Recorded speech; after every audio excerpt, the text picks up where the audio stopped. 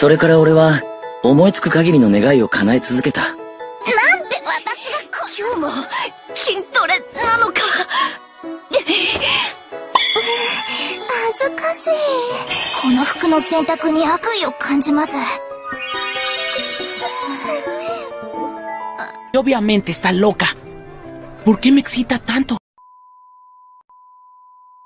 Y si te ha gustado pues dale like y no te olvides que subo nuevo contenido todos los viernes. Esto será un repollo que subiré en 3 semanas.